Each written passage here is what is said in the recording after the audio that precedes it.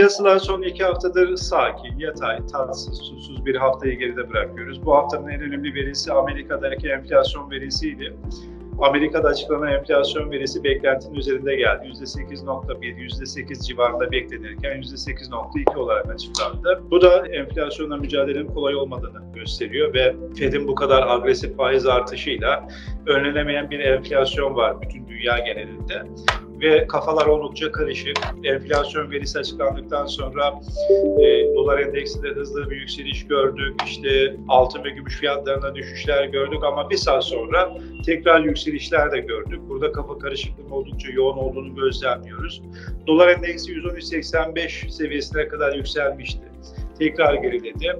Şu an itibariyle 112.68 yine 112.50 dolar seviyesinin üzerinde. Sanırım burada bir baskılanma söz konusu olabilir. Altın ons fiyatı 1662 dolar seviyesinde 1695-1700 dolar seviyesine kadar bir toparlanma mümkün olabilir. Oradaki satışları takip etmeye devam ediyoruz. Gram altın TL fiyatı şu anda serbest piyasalarda 1005-1900 lira aralarında. Yine altın ons fiyatındaki gerilemeyle birlikte baskı altında haftayı tamamlıyor.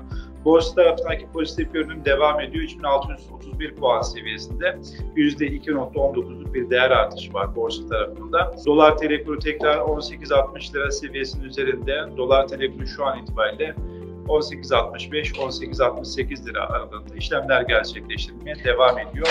Önümüzdeki hafta Türkiye Cumhuriyet Merkez Bankası'nın faiz kararını takip edeceğiz ama burada fotoğraf biraz daha netleşti. Merkez Bankası %9 hedefinin belirlediği tek haneli bir faizle yoluna devam edecek.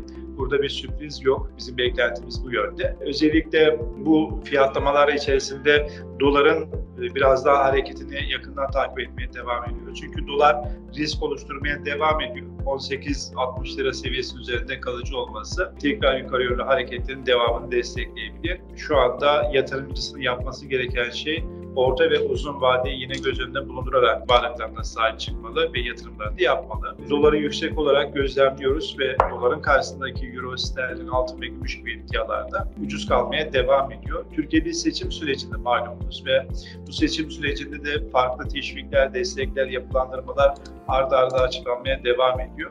Özellikle esnaflara verilen 500 bin liralık krediyi çok önemsiyorum. %7,5 civarında yıllık bir faizi var. Tekabül eden rakamsal değerde işte 100 bin lira yapılan tekabül ediyor. İşte ama bankalarda nakite ulaşamama gibi bir problem var. Artık bankalar mı nakit vermekte zorlanıyor, sistem mi verilmesini istemiyor? Burada bir kafa karışıklığı var.